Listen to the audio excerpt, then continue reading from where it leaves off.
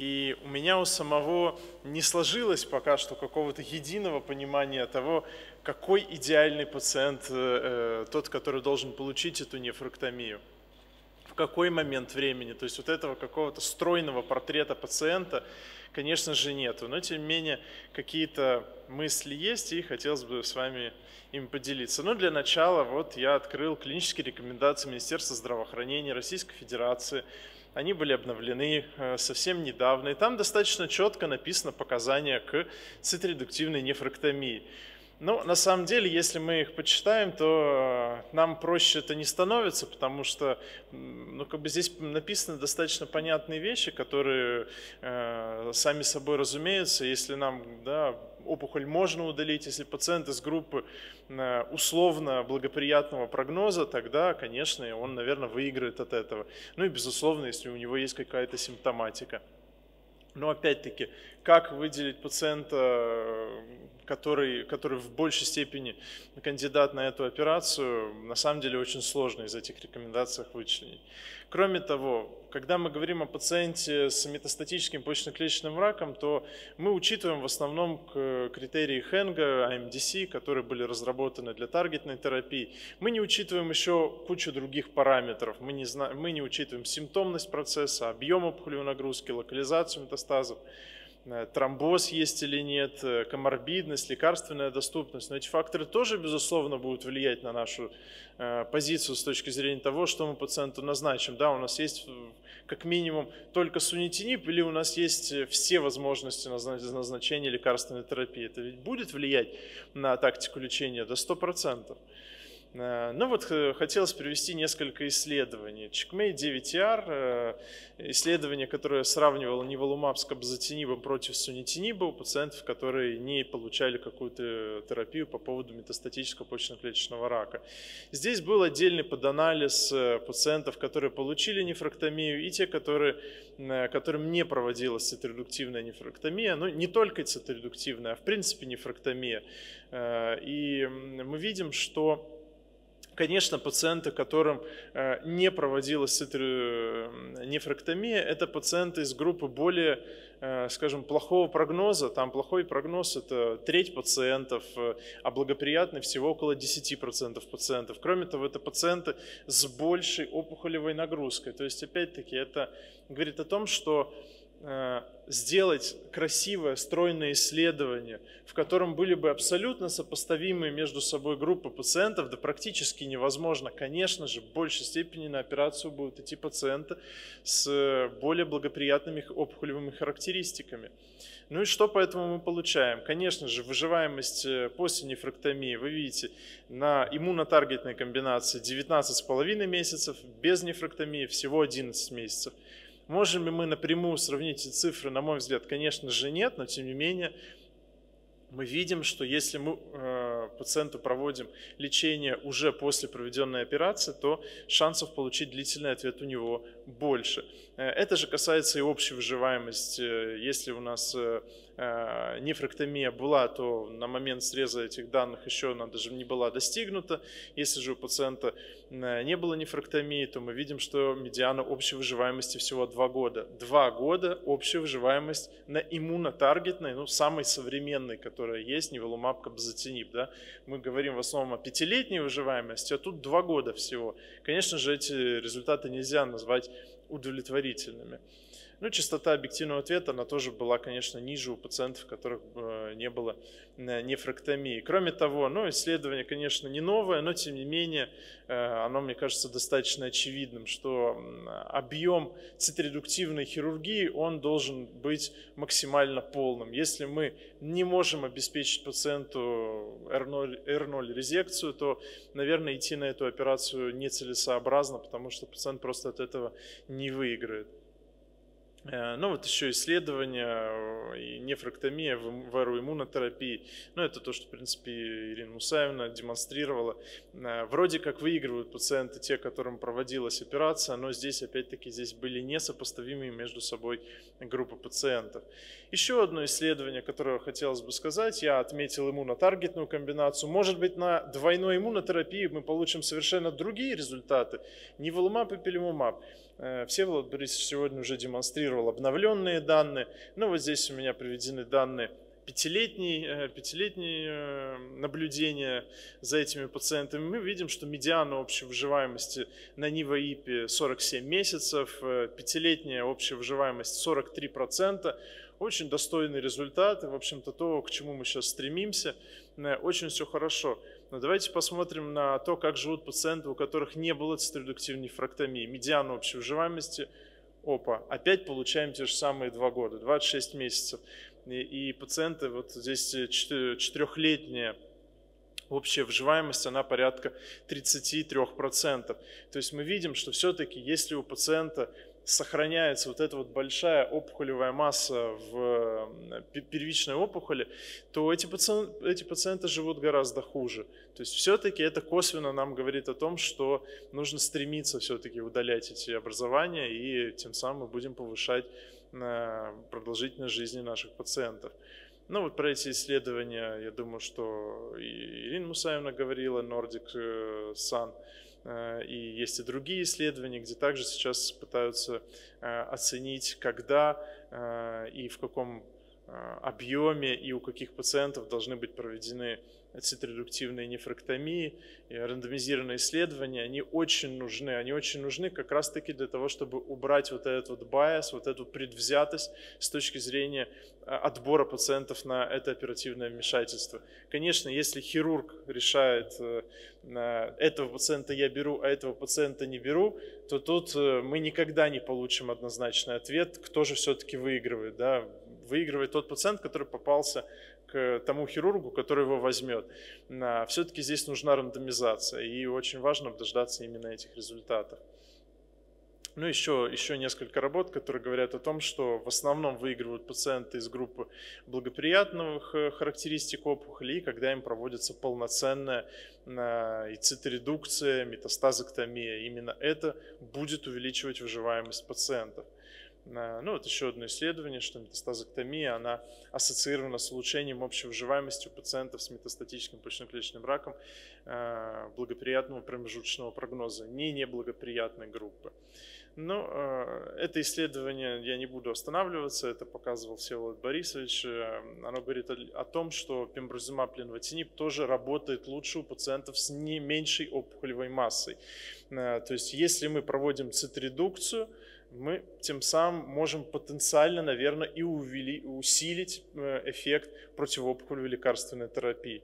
Но, как мне кажется, что в этом есть какой-то смысл, и э, вот этот поданализ исследования клея это демонстрирует. Я не буду на этом останавливаться. Хотелось бы буквально пару слов сказать о наших собственных данных. Ну, вот я проанализировал с 20 по 23 год 85 пациентов, которые у нас получили э, комбинированную терапию в первой линии. Э, они, эти пациенты получали как двойную иммунотерапию, так и иммунотаргетные комбинации самые разные. Медиана возраста составила 63 года, пациенты мужского пола 71%, женского 28,2%. В группу благоприятного прогноза МДС у нас оказалось 14% пациентов, видите, очень немного, промежуточного 56%, неблагоприятного почти 30% пациентов. На момент постановки диагноза отдаленные метастазы, то есть это синхронно-метастатический процесс был у 63,5 пациентов, среди них половине была выполнена циторедуктивная нефрактомия. А, и вот что мы получили в наших данных с точки зрения выживаемости без прогрессирования и общей выживаемости. У нас пока не очень большой период наблюдения за этими больными, но оказалось, что проведение циторедуктивной нефрактомии у наших пациентов э, не повлияло никак ни на выживаемость без прогрессирования и на общую выживаемость. Лично для меня это вот буквально э, мы закончили считать вот эти данные вчера, э, и они для меня были открытием, потому что я ждал, что вот сейчас мы получим выигрыш у тех пациентов, которым была проведена цитредуктивная нефрактомия. Однако нет, и, собственно, возвращаясь к тому тезису, с которого я начал свое выступление, это то, что все работы, к которым мы апеллируем, это работы не рандомизированные, а, соответственно, с большим количеством ошибок первого, второго рода и эм, э, байса на этапе включения в тот или иной рукав. Поэтому на сегодняшний день однозначно сформировать портрет пациента, который выиграет от этого вмешательства, на мой взгляд, невозможно вот в нашей реальной клинической практике, которую мы проводим э, у пациентов с первой линии, назначаем иммуно-онкологические комбинации в первой линии, оказывается, что э, пока что мы не, не видим выигрыша от проведения цитредуктивной нефрактомии. Значит ли это, что ее делать не нужно? На мой взгляд, нет. Но все-таки, на мой взгляд, как взгляд химиотерапевта, основа лечения метастатического рака почки является лекарственная терапия – Циторедуктивная нефрактомия является вспомогательным методом лечения, и ее место еще необходимо найти. Спасибо за внимание.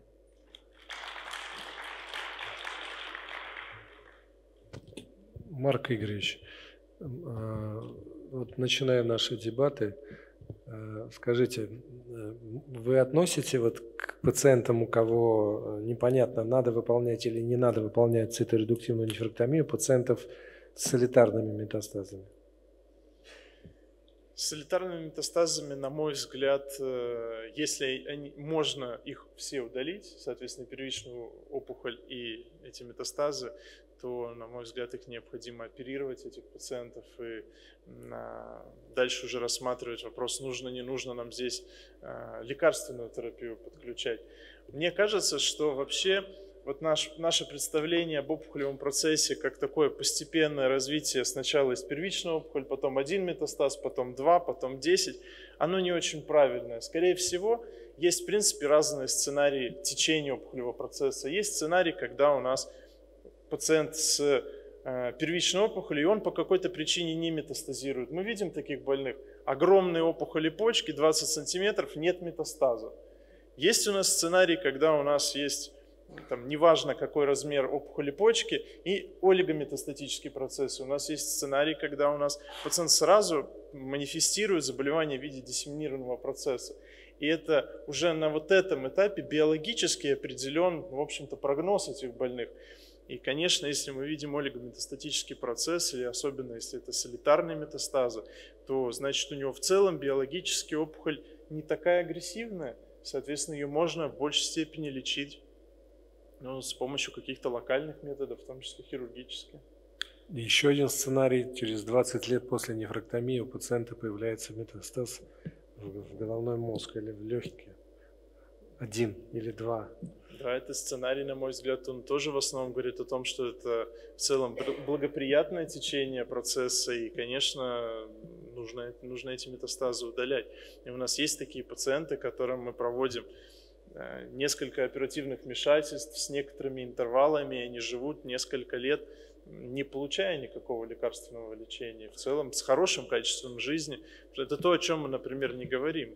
Да? На фоне современных опций э, комбинированной терапии у нас большая часть пациентов сталкивается с нежелательными явлениями. Причем это хроническая токсичность, от которой пациент не избавится. И когда мы можем ему провести э, хирургическое вмешательство и не назначить лечение, то почему бы и нет? Ну, то есть есть когорты пациентов, кому циторедукция показана однозначно. Соглашусь. Да? есть категория пациентов, кому циторедукция не показана тоже однозначно. И, наверное, как правильно Мусаева сказала, пациент с э, необходимостью заместительной терапии, там 75 лет, которому нужно выполнять билатеральную Э, адреналоктомию, наверное, его надо лечить системно. Потому что э, циторедукция приведет к ухудшению его состояния, она не принесет никакого положительного результата. Вин Мусаин, так? Несмотря на то, что я сегодня отстаиваю позицию хирурга в отношении циторедуктивных, э, в отношении метастазоктомий, вы знаете, с течением последнего времени и появлением высокоэффективных возможностей у меня немножко изменилось к этому отношение. Да, если речь идет о метастазах головной мозг, тут уже как бы понятно, и то мы с вами видели замечательные эффекты а, и достаточно длительные ремиссии. Но, смотрите, а, вот регистрационные исследования, которые мы имеем, ну, например, пембролен, вусунитинип, общая выживаемость 47 месяцев, 43 месяца. А вот напомните, многоуважаемый, пожалуйста, вот я, к сожалению, не запомнила ваше имя, отчество, какой у вас получилась общая выживаемость у пациентов после метастазоктомии? Вот. Ну вот пациенты циторедуктивную операцию перенесли, а, нефрактомия, циторедуктивная операция, а здесь Пациенты просто лечились лекарствами. Я не говорю о том, что не надо удалять метастазы. Солитарные, не солитарные. Причем с солитарными метастазами общая выживаемость еще выше на системной терапии. Так вот, я хочу сказать о том, что появилась наконец-то лекарственная возможность, сопоставимая с хирургическим лечением. Поэтому у нас появилось еще больше проблем. Если раньше мы абсолютно точно знали, что возможности лекарственной терапии ограничены, и что мы, нам обязательно нужно, если это солитарный метастаз, мы должны его удалить. У меня в 2005 году я защитила кандидатскую диссертацию на тему лекарственного, вообще комбинированного лечения почечно-клеточного рака. Так вот, медиана выживаемости на лекарственной терапии моих пациентов была 12 месяцев. А те пациенты, которые у меня было по циторедуктивной хирургии, у меня был больной после пневмонэктомии с, с выживаемостью 10 лет. Так вот, вот если бы сегодня меня спросили, пневмонэктомия или лекарственная терапия, я бы предпочла лекарственную терапию. Елена Владимировна, рассудите нас всех. Ну, как клиницист, а, мне близка позиция Ирины Мусаевны, как а, организатор здравоохранения я э, могу вступить в дискуссию. Надо четко совершенно понимать, что там, где есть возможность деинтенсифицировать лечение и предоставить возможность лечиться и планировать свой бюджет таким образом, чтобы дать возможность другим пациентам иметь равнозначный доступ к высококлассной эффективной терапии, об этом стоит задуматься, о метастазоктомии. И вот в контексте э, вашего комментария все. Я просто хотела сказать свое личное мнение в отношении э, заданной э, нашей последней сессии. Вот для меня, как для медицинского онколога, очень важно, а приходит ли пациент с симптомным первичным очагом или нет. И представляет ли первичный очаг, симптомный почка, а, жизнеугрожающий, да, источник жизнеугрожающих осложнений. Вот если кровотечение, так априори здесь должно должен рассматриваться вопрос о э, нефроктомии. А с другой стороны, мы становимся некими заложниками ситуации, поскольку есть пациенты, у которых продолжительность жизни может определяться интеркуррентными заболеваниями. И вот у них вопрос об операции по жизнеугрожающим состояниям, он весьма-весьма дискутабелен. То есть, с одной стороны, мы должны а, произвести некое вмешательство да, по поводу жизни угрожающих осложнений. С другой стороны, мы должны просчитать ситуацию таким образом, чтобы сам факт хирургического вмешательства и прогнозируемые осложнения. А прогнозируемые осложнения – это не всегда какие-то технические истории. Это и, и в принципе проблемы операбельности пациента и способности его выйти из э, непроблемного послеоперационного периода да, по, по коморбиду по своему. Вот здесь надо как-то балансировать, и у нас нет четких осязаемых предикторов.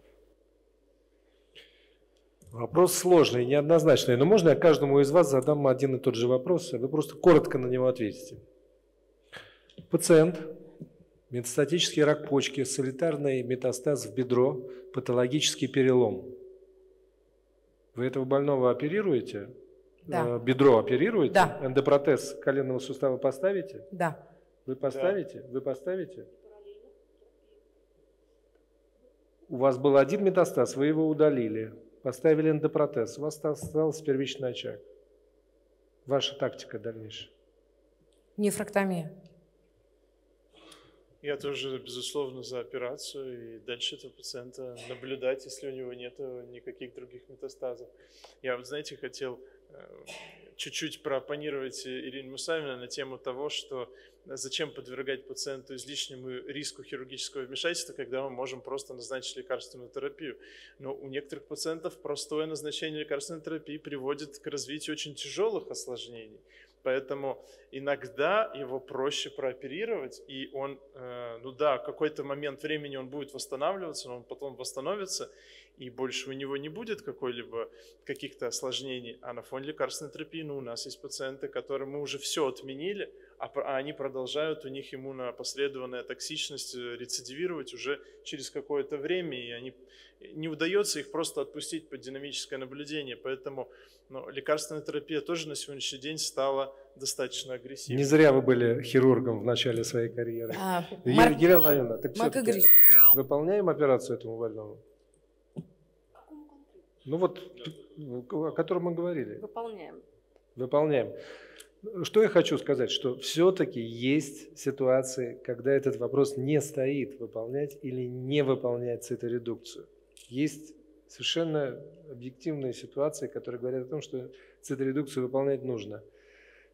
А, понятно, что пациенту с множественными метастазами в кости или в печень никакого нет смысла выполнять циторедуктивную операцию – в любом случае, это абсолютно бессмыслица, даже если у него кровотечение. Проще заэмболизировать эту почку, почечную артерию и так далее. То есть тоже есть категория больных, кому точно не нужно выполнять циторедукцию. Поэтому, на мой взгляд, все исследования, которые проводятся, в том числе рандомизированные, они э, просто не поставлены в определенные рамки клинические. Из-за этого вот полный вообще разнобой в результатах.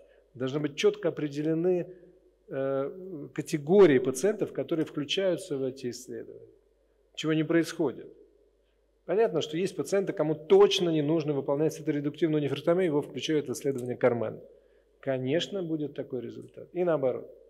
Поэтому я думаю, что, ну, я надеюсь, что будущие исследования, конечно, состоятся, хотя тоже большой вопрос, будет ли ответ на все наши вопросы. А, коллеги, кто хочет еще высказать последний человек свое мнение, потому что у нас просто времени нет больше. А я хотел вам задать вопрос про больного. Ну, соперировали вы бедро. Дальше осталась почка. А если больной неблагоприятного прогноза, вы будете его оперировать? Это первый вопрос. А второй, будете ли вы назначать терапию после того, как вы соперируете, если соперируете?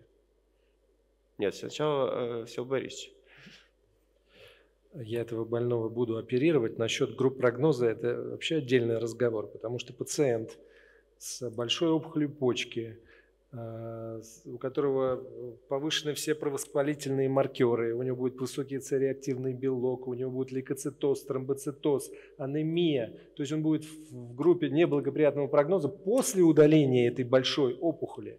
Он будет в группе промежуточного, а может даже благоприятного прогноза. Понимаете, в чем дело? Поэтому на группу прогноза, на мой взгляд, вообще вот в некоторых ситуациях нельзя ориентироваться.